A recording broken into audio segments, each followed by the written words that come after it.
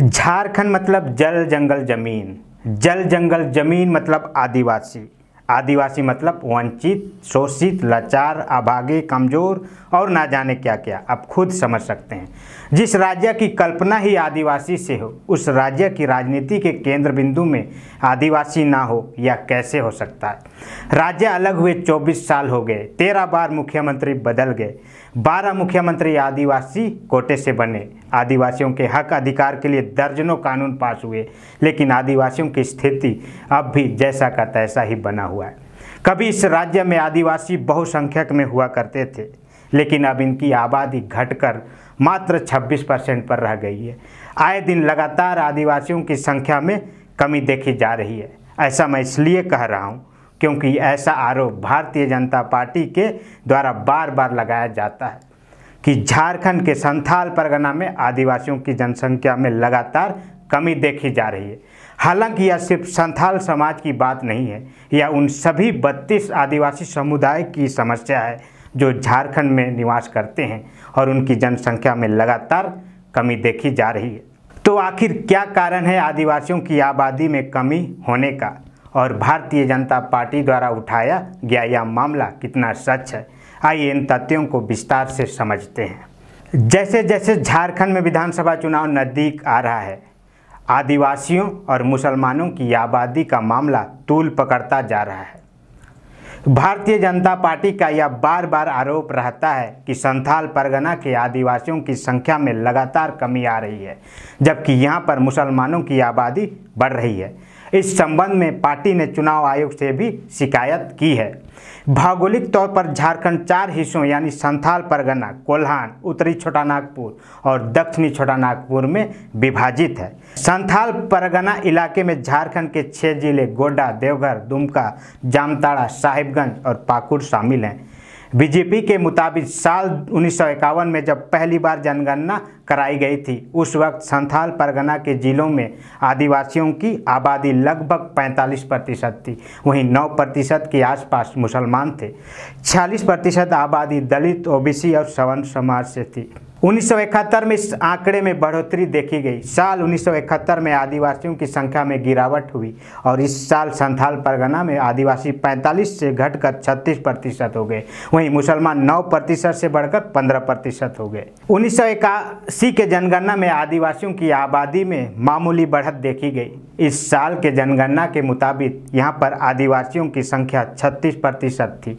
वहीं मुसलमानों की संख्या में करीब दो प्रतिशत की बढ़ोतरी देखी गई। साल 2011 के जनगणना के मुताबिक संथाल परगना में आदिवासी घटकर 28 प्रतिशत पहुँच गए। वहीं मुसलमानों की संख्या में ज़बरदस्त बढ़ोतरी देखी गई। मुसलमान यहाँ बढ़कर 22 प्रतिशत से अधिक पर पहुँच गए। संथाल परगना में मुसलमानों की आबादी बढ़ने के तीन वजह बताई जा रही है। बीजेपी प्रदेश अध्यक्ष बाबूलाल मरांडी के मुताबिक इस इलाके में बड़े पैमाने पर बांग्लादेशी घुसपैठियों का प्रवेश होना, झारखंड का संथाल परगना बंगाल सीमा से लगा हुआ है और इसी के ज़रिए इन इलाकों में बांग्लादेशी आकर बस गए हैं। दूसरा, पूर्व सीएम चंपाई सोरेन ने विधानसभा में इसको लेकर एक बयान दिया था। उनके मुताबिक आदिवासियों की आबादी पूरे झारखंड में कम हुआ है।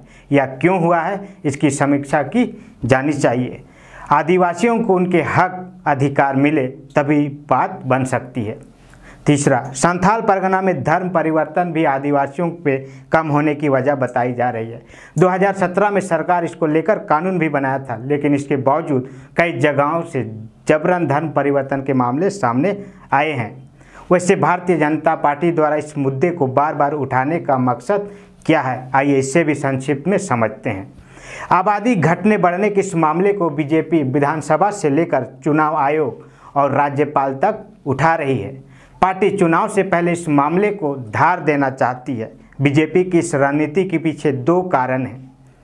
पहला, हेमंत का आदिवासी और मुसलमान गठजोड़ की राजनीति पर ज़्यादा फोकस होना। साल 2019 में लोकसभा चुनाव हारने के बाद हेमंत सोरेन ने आदिवासियों और मुसलमानों का एक गठजोड़ तैयार किया था। हेमंत ने इसी समीकरण को साधने के लिए कांग्रेस और आरजेडी से गठबंधन किया। टिकट बंटवारे और मैनिफेस्टो में भी इन्हीं समुदायों को तहरीर दी गई। हेमंत का यह समीकरण हिट रहा और बीजेपी की सरकार चली गई। हालिया लोकसभा चुनाव में भी आदिवासी और मुसलमानों ने इंडिया गठबंधन का समर्थन किया, जिसके कारण आदिवासी बहुल सभी पाँचों सीटें बीजेपी हार गई। बीजेपी डेमोग्राफी का मुद्दा उठाकर इस समीकरण को झारखंड, खासकर संथाल परगना में तोड़ना चाहती है। संथाल परगना के छः जिलों में विधानसभा की कुल 18 सीटें हैं। 2019 के चुनाव में 18 में से चार सीटों पर बीजेपी जीतती थी। दूसरा, भारतीय जनता पार्टी द्वारा झारखंड में आदिवासियों को लुभाने की कोशिश। झारखंड आदिवासी बहुल राज्य है। रघुवर दास को छोड़ दिया जाए तो अब तक जितने भी मुख्यमंत्री बने हैं, सब आदिवासी समुदाय के ही रहे हैं। राज्य में विधानसभा की इक्यासी में से 28 सीट आदिवासियों के लिए रिज़र्व है। रिज़र्व सीट को छोड़ भी दिया जाए तो करीब 30 ऐसी सीटें हैं जहाँ पर आदिवासी मतदाताओं का दबदबा है।